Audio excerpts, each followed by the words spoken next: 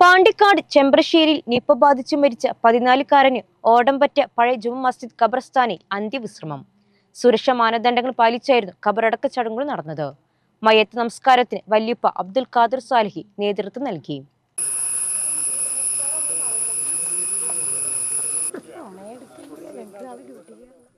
Nipah ബാധിച്ചു മരിച്ച ചെമ്പ്രശ്ശേരി സ്വദേശി അമ്പലപ്പറമ്പൻ അഷ്മിൽ ഡാനിഷിന്റെ മൃതദേഹം ഓടമ്പറ്റ ജുമാ മസ്ജിദ് ഖബർസ്ഥാനിൽ ഞായറാഴ്ച രാത്രി ഏഴ് നാൽപ്പത്തി അഞ്ചോടെയാണ് കബറടക്കിയത്.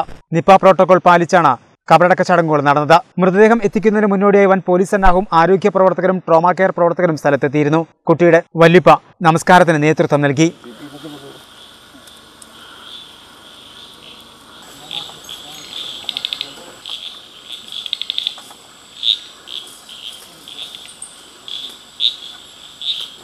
ഇത്രേ ക്ലിയർ ഉണ്ട് കേട്ടോ ഒന്ന്